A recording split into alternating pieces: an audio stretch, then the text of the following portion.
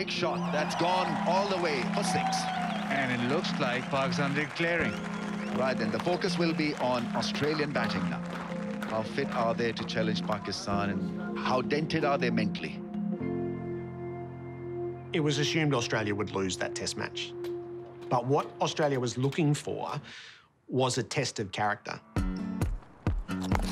Well, swept away fine. Khawaja's away with a nice boundary. Cut away nicely from Khawaja. Lovely batting. Well, that's a really classy shot. I actually try to stay in the moment of the game because I was just trying to bat. I wasn't thinking, oh, I got to, you know, we got to survive for 150 overs. I'm just thinking, I'm just going to bat normally here. If I do that for long enough, well enough in these conditions, that's how I'm going to survive. That will be the 50 for Usman Khawaja. So that'll be stumps here in Dubai. Australia, you'd think, have still got a lot of work to do tomorrow. It was all really positive chat. Sriram spoke to us. He started talking about how the pressure's all on Pakistan. Tomorrow, I think we've got a great chance to make those guys repent their decision not to put us in again. Everything is in our favor as I see it. The expectation for them to win the game is so much greater than it is for us to save it. We've just got to be trusting our plans and be able to execute. We've had a collapse for the last 26 games. No one's expecting us to hold on for a draw. So just changing the mindset of, of yeah, the pressure is on them. What have we got to lose here? I like your thinking. Much rather be in our shoes than theirs for this test match. I like silver lining. It's good. Good, good work. And we've got plenty to play for. We've got so much we can gain, like we have for the first four days, not just for this five days of our life, but for the next month of our life, the next six months of life, for the next five years of this test team. We've got plenty to play for tomorrow. We can take some really great stuff out of it.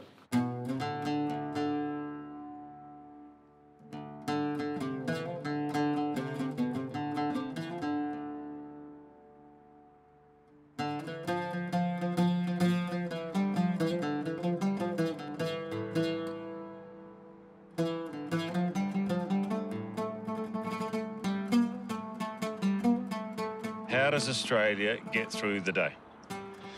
Well, it's going to be tough. I mean, it's as simple as that. Uh, you've got to be brutally honest. Yeah, I, I was pretty nervous. I was, I was hopeful. Um, not overly hopeful because I, I know that the pitch was starting to spin a lot. JL spoke really well that, that morning about, you know, this is another opportunity for this group to show Australia and show our fans what we're made of. If we can draw today, we can draw from anywhere. Whatever happens today, it's a great opportunity. The last four days have been a great opportunity. Today's another great opportunity for us, okay? And let's just fight, fight, fight, fight. We talk about earning respect, making people proud, each other, everyone else. Just fight today, just fight everyone. When that little voice comes on in your mind, oh, a bit of pressure or oh, I'm fucking a bit tired or I'm gonna get to no no no just fuck come on, no no no, just fucking steel vault, keep trusting your plan. It's a really important day for us. All right? Individually and as a team, as this team keeps building together. All right?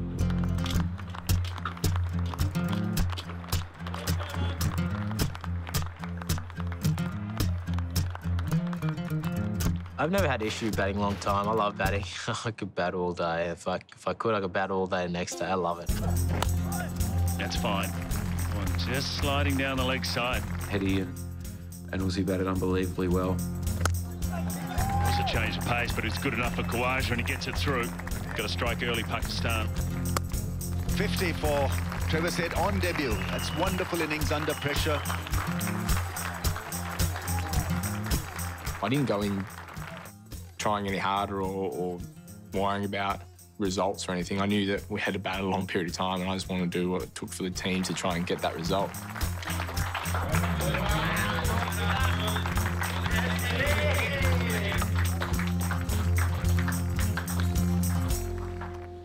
He's a pretty stubborn character at times, was he? And you could just see that he that he wanted it desperately. Swept nicely from Khawaja. Flicks it out in the deep. It's really hard to stay in the present and not think about what could happen later or what has happened in the past. It's so hard. That's that's the mental battle. Big shot. Khawaja taking a little bit of risk, going against the spin. People are like, oh, you know, you got to knuckle in, you got to bat long, you got to bat time. But I sort of figured out in my head, doing well on spinning wickets in county cricket and throughout the last couple of years, that if I bat normally and keep that same tempo, that's giving myself the best chance to bat for a long time.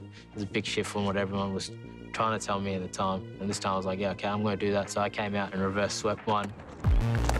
The reverse sweep, beautiful shot from Khawaja. You know, trying to save a match, it's not usually the way to go about things, but that's how I was going to do it because I had that in my head. To stick to a game plan, the reverse sweep against Yasir Shah, regardless of what's happening around you, was extraordinary. If he gets out the first time he tries a reverse sweep, he's going to cop some grief. But he's committed to it, and he stayed committed to it until, until the very end. Goes back, works it into the gap, and there it is. It's a 100 for Usman Khawaja. His first against Pakistan. What a knock under pressure. He is, absolutely loving it. He should be very proud of this century.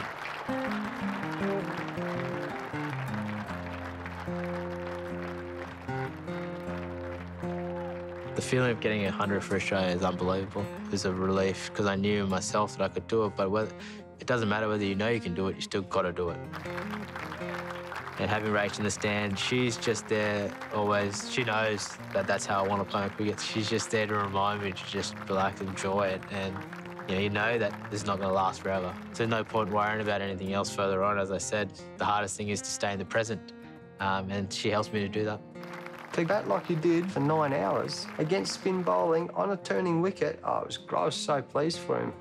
Usman Khawaja played one of the, the greatest innings I think I've ever seen in, in tough conditions. Just the concentration and power that he showed to bat in that heat for that long was, was extraordinary. And I thought, one, it took a lot of courage when you're trying to play for a draw to play that way, and, um, and two, showed such a high level of skill.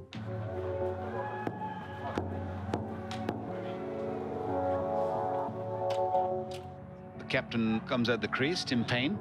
But it's not about runs, it's about playing out the remaining overs. My focus was just pure survival that day. I was just trying to keep it out as much as I could. Oh, my goodness me. I didn't have too many plans, to be honest. Oh, Tim Paine slips over. He's under enormous pressure at the moment. We talk a lot about playing the Australian way, which is when your back's to the wall, you, you fight and you, and you do everything in your power to, to change momentum or, or win a game for your country. This is how you hang in there and you, you find any way to get through a situation. That's what fighting is. I made a conscious effort that day not to look up at the scoreboard or the overs remaining. And it was amazing when you do that, actually, how quickly the time started to go by. I wasn't fussed on scoring runs. It was just purely about trying to spend some time. And I knew while, whilst I was out there with Usman, I felt reasonably confident that we could get it done. Was that high?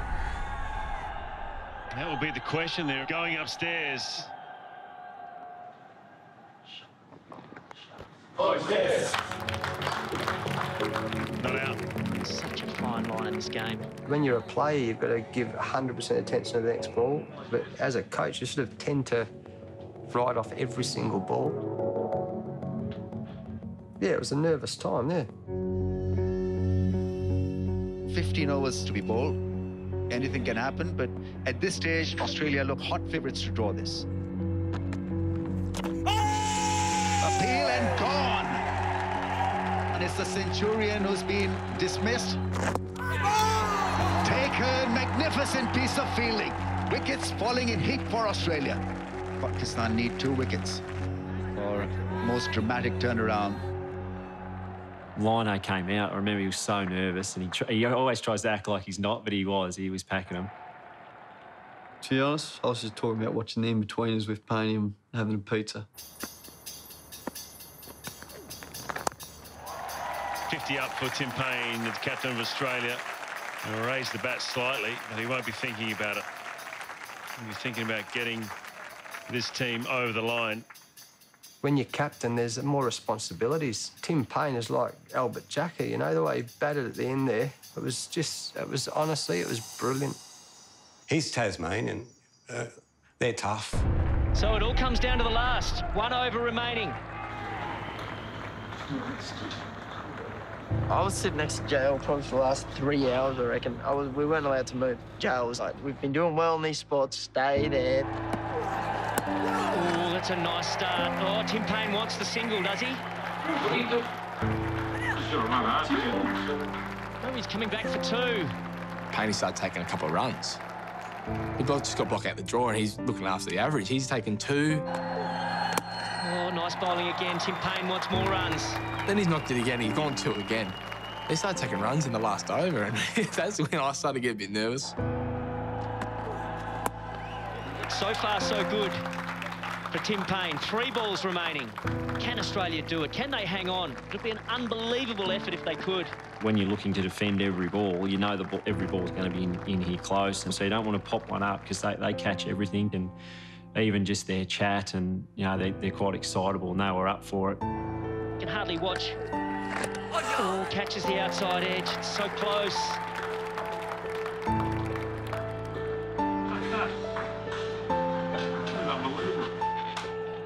This is the ball. If Tim Paine can survive this, Australia will have made uh, the great escape.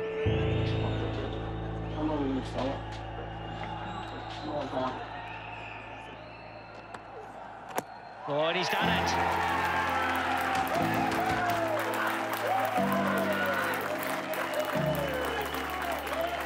This is how you play tough and you scrap. And to be in a different situation where the win was out of the question, it was, uh, it was, it was pretty special. To achieve what we had achieved, which does not happen in those conditions very much, which is to bat an extraordinary amount of overs in the fourth innings of a game, for where our group had came from, what we're trying to build, was I thought was really important and kept the series alive. So proud of everyone in this room. Well done.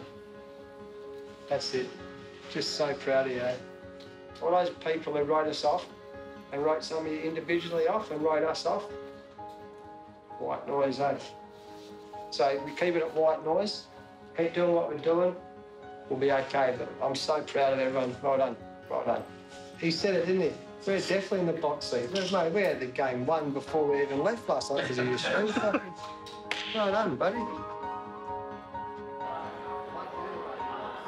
I think more than winning the Test match, a fighting draw, which in some circumstances might have been declared as a heroic draw, drawing on a batsman who batted selflessly, compellingly throughout a day, and then the captain who guided Australia to safe harbour, as storylines, it hit the perfect tones for the starting point of a new era.